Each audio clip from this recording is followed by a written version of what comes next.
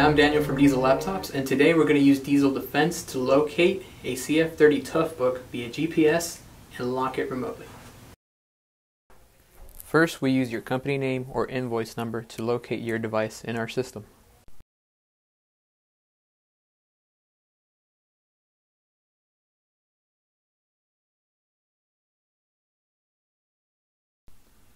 We go to Device Summary.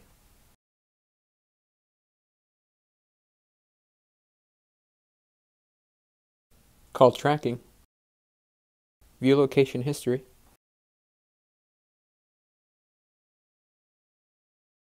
And here it shows a map where it shows the last time your device connected to the internet. And we can zoom in on the device.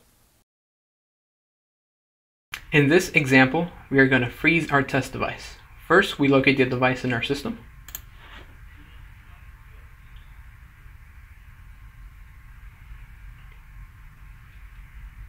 We go to Device Actions, Freeze Device.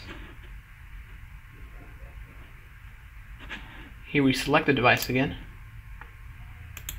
Put a device freeze request name.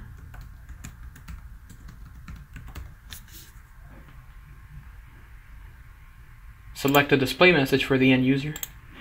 This is one we created earlier. Next, we submit the request. And now, next time the device comes online or is connected to the internet, it'll display a frozen screen